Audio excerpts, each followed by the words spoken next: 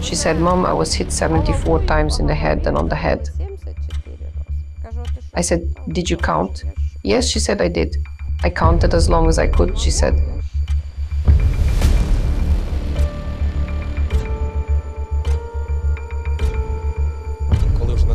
When the settlement was liberated from the Russian aggressors, we found the same torture chambers where inhumane conditions were created for our people. It was in these torture chambers that the character and will of our local population was broken.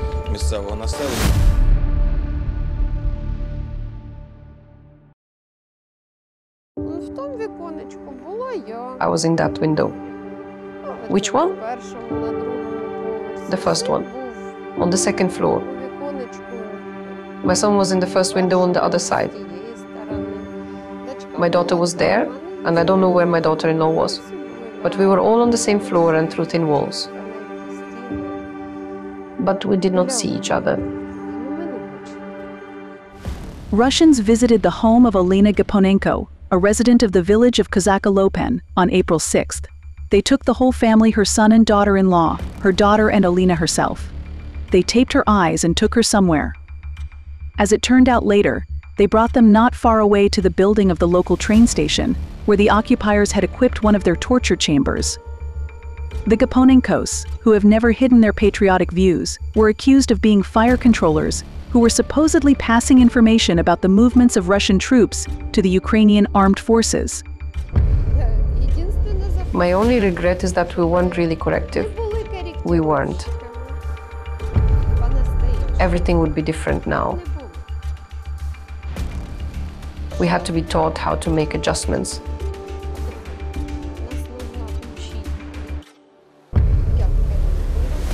Where to call, what to do.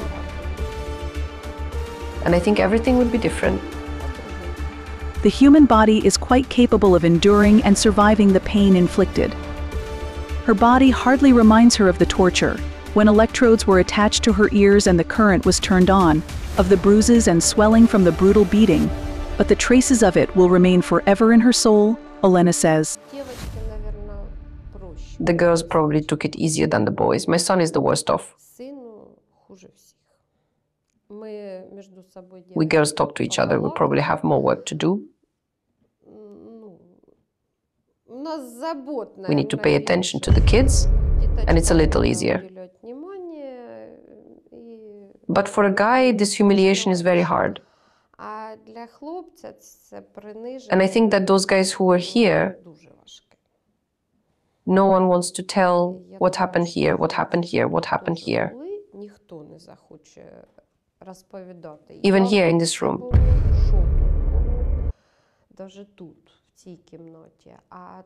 And I don't think anyone will want to tell what they did to them on the mountain. It will just die with them, with each of us.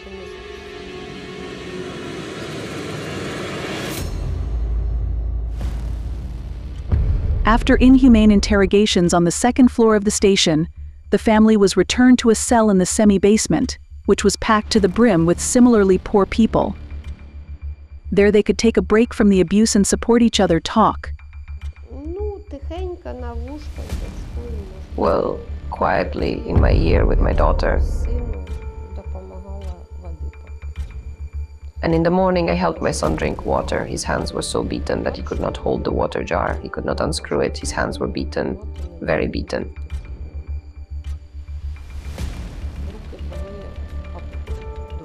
They just kept him here, telling him that tomorrow everyone would be used up, everyone would dig graves, and everyone would be used up. And life flies by so fast, and you realize that you can't do anything about it.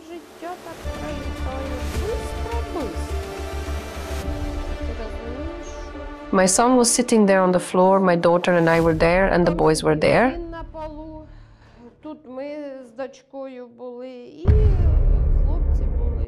There was also an uncle who was the same age as my father, born in 51, so I don't know what he could have done.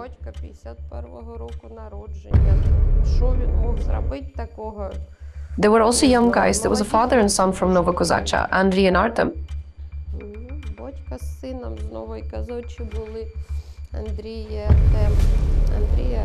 No one can find Andrei to this day. He disappeared.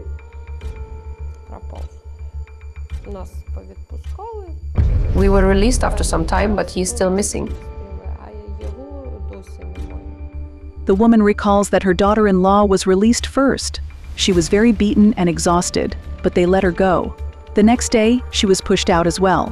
Her son was held in a Russian torture chamber for four days, Olena Gaponenko's 25-year-old daughter was held the longest. The hardest part. When I came home and the children were still here, that was the hardest part.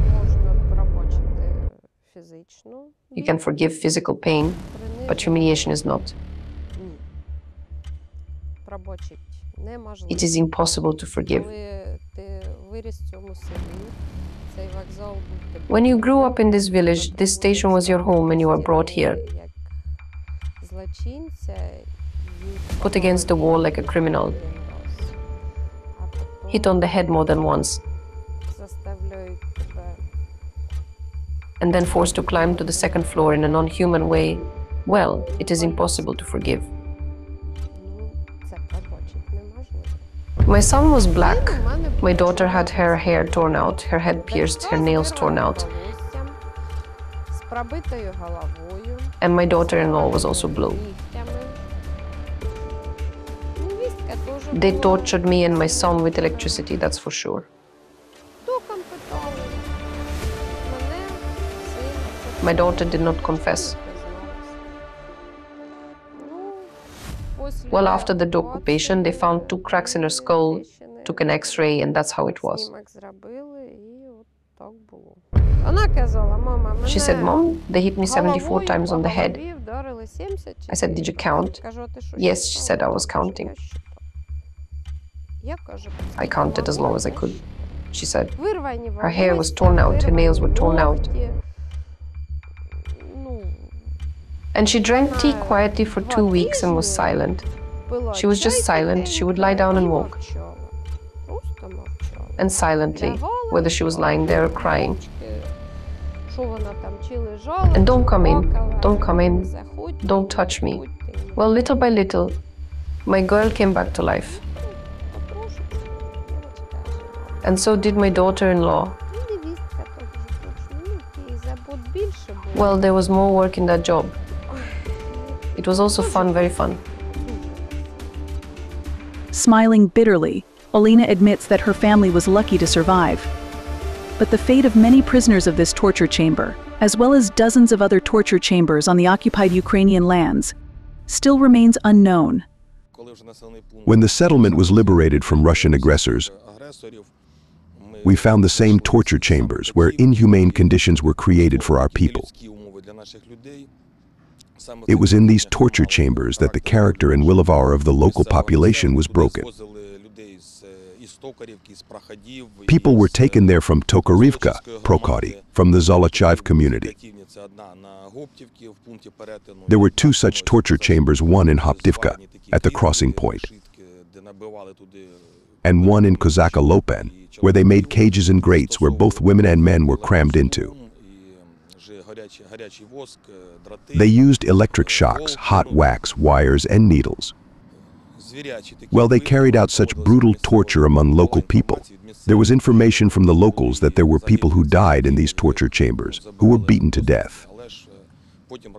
And then the Russians either buried them in local cemeteries or took them to Hoptivka, so we do not know the fate of these people yet.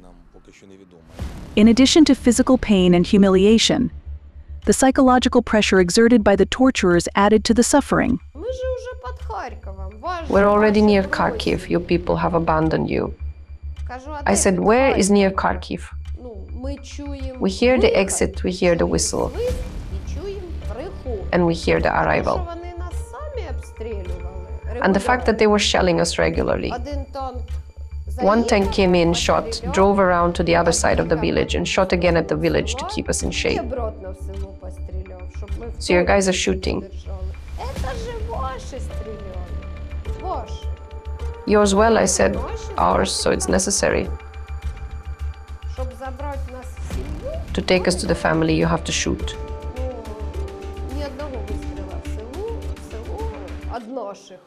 Well, somehow there was not a single shot in the village from ours. It was always from them, them, not from us and us. Many people went through this torture chamber in Kozacha Lopan, and the names of many of them are still on the lists of missing persons. Their bodies are most likely buried in unmarked graves somewhere. At first, it was hard to believe that all this was done to peaceful Ukrainians by those who were considered good neighbors 10 years ago. Although it was not only Russians who tortured her family, Olena says, the Russians were unrivaled in terms of cruelty. There were Russians and there were, I don't even know how to call them.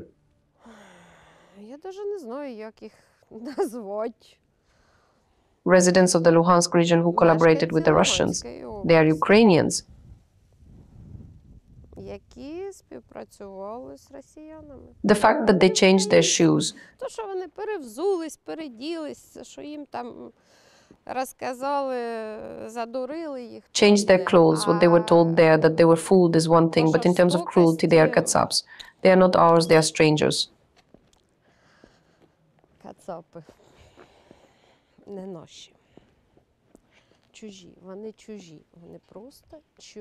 They are just strangers, foreigners. They came to our land, they destroyed our world, they just destroyed it.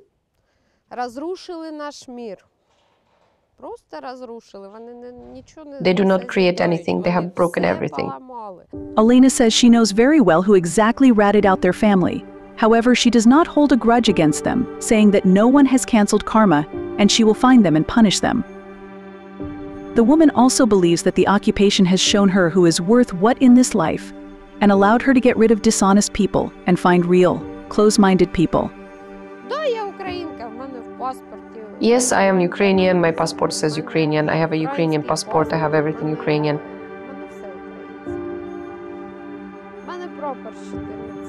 I have had a Ukrainian flag on my house since I was 14 years old. Everything will be Ukrainian. Everything will be Ukraine. that's the only way. In the deoccupied territories of Ukraine, 101 places where Russian invaders illegally detained and tortured Ukrainian citizens were discovered. The largest number 31 torture chambers are located in the Kharkiv region. The number of people who never made it out of these hellish places alive is still unknown. In total, as of February 23, 2024, police investigative units in the Kharkiv region are conducting pre-trial investigations into 483 criminal proceedings into the disappearance of 566 civilians under special circumstances, including 343 men, 135 women, and 88 children.